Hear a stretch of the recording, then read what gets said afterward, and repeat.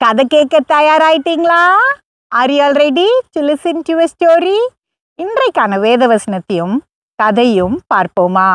Shall we see today's Bible verse and a story சில நேரம் அதிகமாக நம்ம செலவை மிச்சப்படுத்தணும் அப்படின்னு நினச்சி நம்ம பல நஷ்டத்தை அடைஞ்சிடுறோம். Sometimes we think that we have to reduce our spending and we face a loss பேராசை அப்படின்னு இருந்தாலும் சில நேரம் கஞ்சத்தனமும் பிரச்சனையாக தான் இருக்குது. Even if greedy is a trouble sometimes being stingy also becomes a trouble வேதம் என்ன சொல்லுகிறது என்று பார்க்கலாம். Let us see the Bible says says. எபிரேயர் பதிமூணு அஞ்சு. நீங்கள் பண ஆசை இல்லாதவர்களாய் நடந்து உங்களுக்கு இருக்கிறவர்கள் போதும் என்று எண்ணுங்கள். Hebrews thirteen five let your conduct be without covetousness and be content with such things as you have இந்த வசனத்தோட முதல் பாகத்தை தான் நான் வாசிச்சிருக்கேன். இதில் என்ன சொல்லுது பார்த்துருக்கீங்களா? நம்ம என்ன இருக்குதோ அதை வச்சு சந்தோஷமாக இருக்கணுமா? I have read the first part of this verse see what it says we have to be happy with what we have அதிகமாக ஆசைப்படவும் கூடாது இருக்கிறத செலவு பண்ணக்கூடாதுன்னு நினைக்கவும் கூடாது.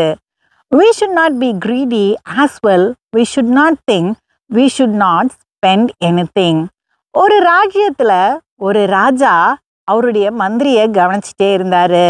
In a kingdom a king was வாட்சிங் ஹிஸ் மினிஸ்டர் அவர் அங்கே உள்ள வியாபாரிகளுக்கு அதாவது அரண்மனை தொடர்பான வியாபாரிகளுக்கு அவங்க கேட்ட பணத்தையும் கொடுத்துட்டு இருந்தாரு that minister was giving the right amount of money to the traders who came to the palace சில நேரத்தில் அவர் குறைச்சி கொடுப்பாரு நிறைய நேரங்களில் அவங்க கேட்குற தொகையை கொடுத்துருவாரு sometimes he used to bargain mostly he used to give the money they ask இதை கவனிச்சுட்டே இருந்த ராஜா யோசிச்சாரு இப்படி நம்ம எல்லாத்தையும் வாரி வாரி கொடுத்துட்டே இருந்தா அரண்மனை கஜானா காலியாயிரும்.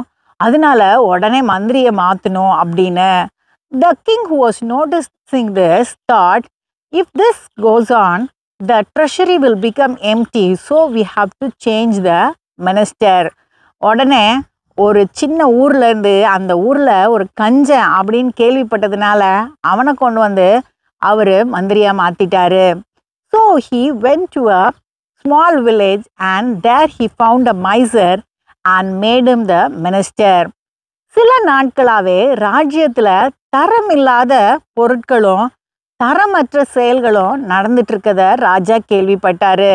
The king heard of things that was not good happening in the kingdom and also of cheap quality things entering the kingdom as well the palace அரண்மனையும் சேர்த்துதான் அதனால ஒரு நாள் இந்த புது அமைச்சர் ஒரு வியாபாரம் பேசுகிறத கவனிச்சிட்டே இருந்தார். So one day he was வாட்சிங் his new minister talking to a trader அந்த பு- வியாபாரி ஐநூறு போர் குதிரைகளை கொண்டு வந்திருந்தாரு. The trader had brought five hundred war horses அந்த மந்திரி சொன்னார் நீங்கள் ஐநூறு குதிரைகளை கொடுங்க உங்களுக்கு ஒரு மூட்டை அரிசி கொடுக்குறேன் அப்படின்னு. The minister said give me five hundred horses I will give you one sack of paddy அந்த வியாபாரிக்கு ரொம்ப கோவம் வந்துருச்சு. அவர் கேட்டார் ஐயா ஒரு மூட்டை அரிசி கொடுக்குறேன்றீங்களே அதுக்கு என்ன விலையை நீங்கள் நிர்ணயிக்கிறீங்க? அப்படின்னு.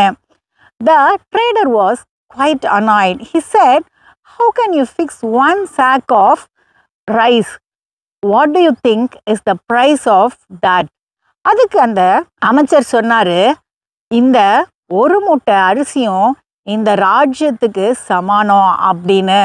The minister said this one sack of rice is equal to this whole kingdom அப்பதான் ராஜாவுக்கு புரிஞ்சுது இந்த மந்திரிக்கு எதோடைய மதிப்பும் தெரியல ஒண்ணுமே சரியா செய்ய தெரியல அதனால தான் தரம் இல்லாத பொருட்கள் எல்லாம் அரண்மனைக்குள்ள வந்துருச்சு அப்படின்னு Then only the king understood that this minister did not know the value of anything and did not know how to handle things.